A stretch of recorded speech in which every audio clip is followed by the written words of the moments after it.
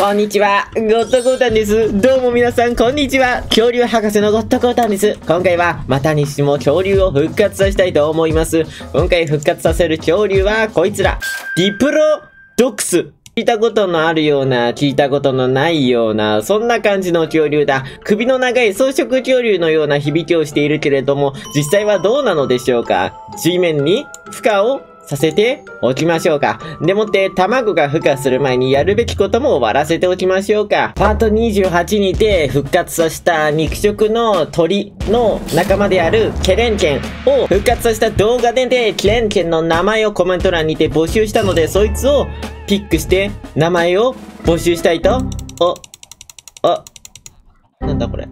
ルーレットできねえ。僕の独断と偏見で選んだ結果、パッと目についたからこいつにしよう。ケレンケンの名前はケンケンパーにしませんかだって。語呂もいいし僕は好きだよ。ってことで、ケレンケンの名前はケレンケレンパーにしておこうか。ケンケンパーの方がいいかな。あれ？待って。後ろになんか、え？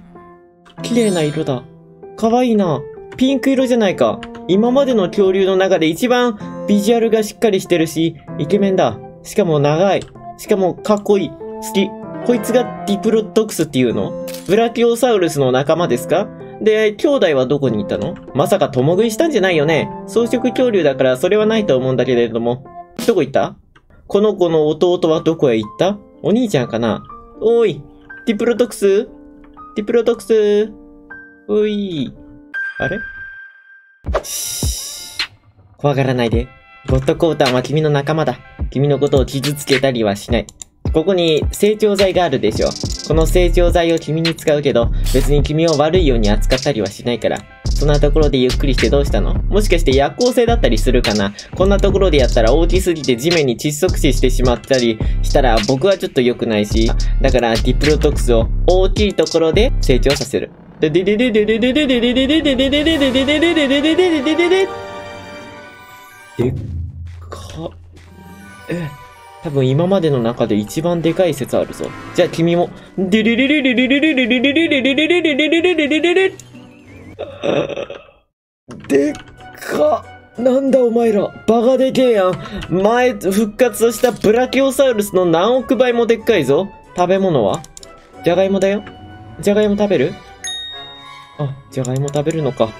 かわいいな。君たちはディプロトクスっていうのか？なんか、ぐったりしてるけど、これは昼間だから？夜になったら活動するタイプ？珍しいねだったら、恐竜図鑑で確かめてみようか。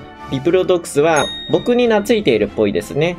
まあ、ディプロトックスについての説明をしよう。ディプロトックスっていうのは、全長20から33メートルらしい。アホほどでかいな。でもって体重は10から20トン。大きさの割に意外と軽いらしいですね。草食恐竜らしくって、で、尻尾がムチみたいに長くて、それを振り回して自分のことを守るらしいです。ちなみにこの尻尾の先端の振り回されてる時の速度は音速を超えていたっていう説もあるらしいですね。尻尾と首は縦、横に長いらしいです。縦、横にこんなビヨーンって長い感じ。でもって、このディプロトックスの化石の鼻の形的に尾行のこの形的に、おそらく象やバクみたいなビローンとした鼻が生えていたんじゃないかっていう説もあるらしいですね。象とかバクの鼻は骨が入っていないので化石として残らないんですよ。だからもしも未来の世界に象に似た種類の動物がいなかったとして、象の化石がたとえ発見されたとしても、あの象の骨格だけを見て、象には長い鼻があったっていう風にわかるかっていうと、わかんないと思うんだ。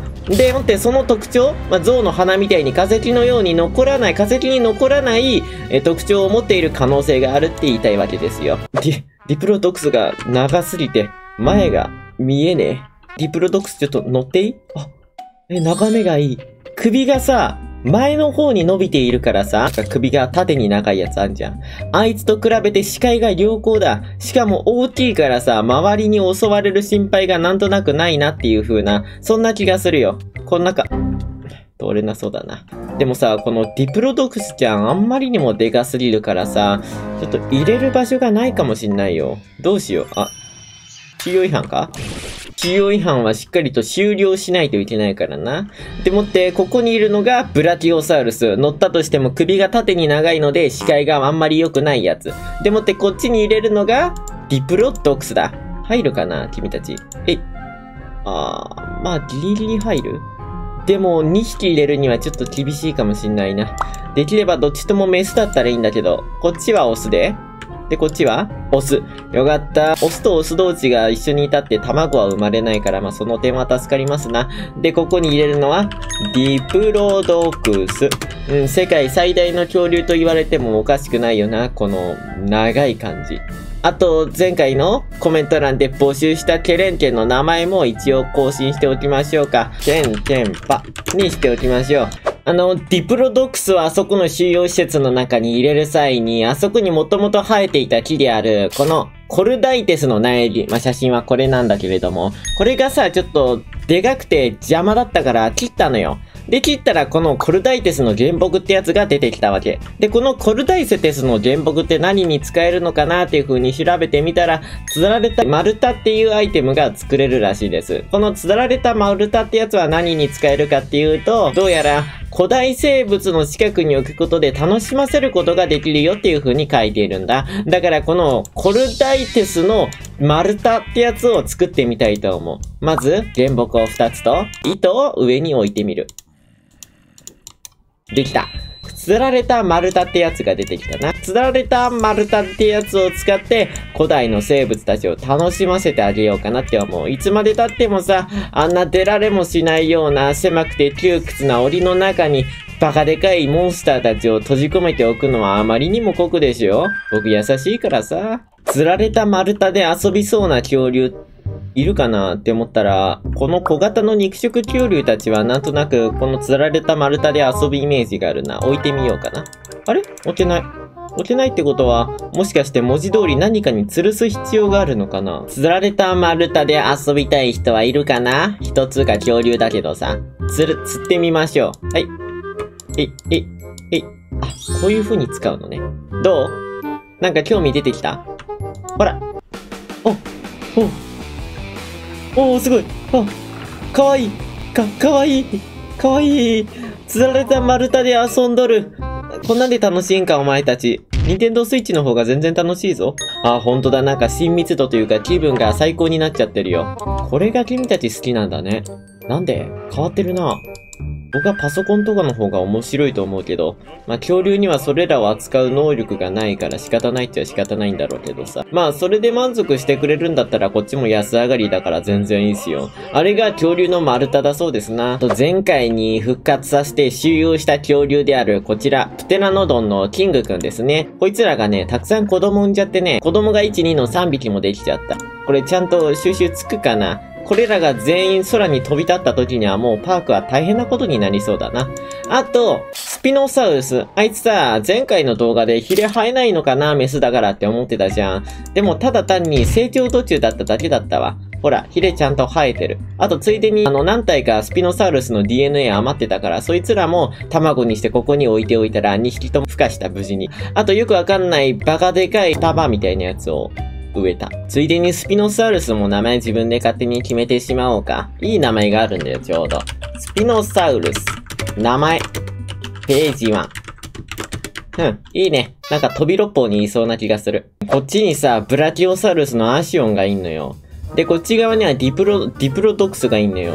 両方とも同じさ、竜盤類っていう背の高い、まあ、首が長いタイプの四足歩行の恐竜なんだけど、こいつらって別にお互いをお互い敵対する関係ではないと思うの。だからさ、わざわざここをさ、檻で区切る必要はないと思う。だってお互い背でかいし、図体もでかいし、体重も重いし、首も長いからさ、いちいち分けていたら窮屈で大変でしょ？だからここをあえて当ててあげる。ここゴッドコーダーの優しい部分ね。いいよ優しいってコメント欄に書いても。